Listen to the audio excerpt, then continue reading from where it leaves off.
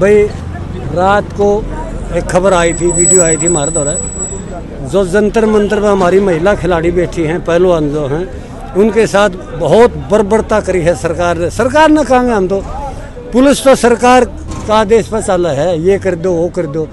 हम तो सरकार ने साफ़ साफ़ कहेंगे भाई, जो रात को उनका खाना पानी बंद, चाय पानी बंद, बारिश होगी, वो कहीं अपना साधन ले रहे थे वो नहीं लेने दिया, और फिर बाल पकड़ पकड़ के घसीटा है।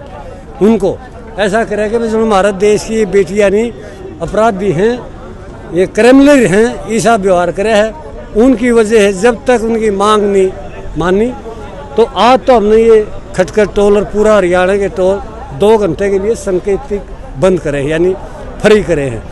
अगली, जब हमारे पास कोई सरकार का, कोई इसका जय ब्रजभूषण का गिरफ्तारी का आ जाए तो हम ईब खोल दें। ईब आप बता दो भाई ब्रजभूषण को गिरफ़्तार करो।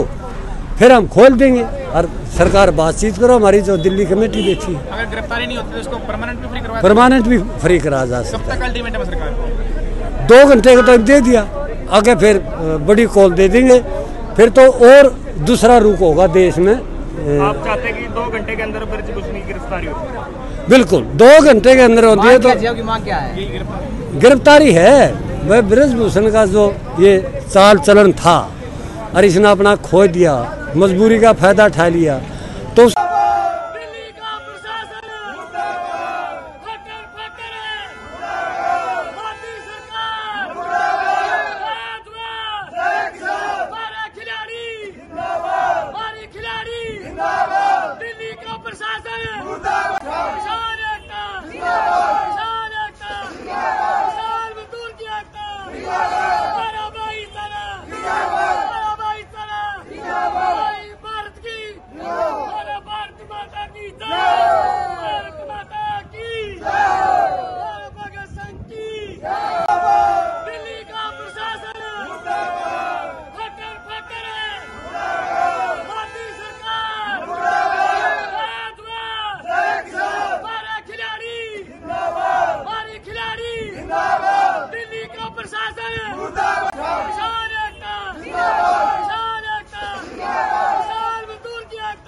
Viva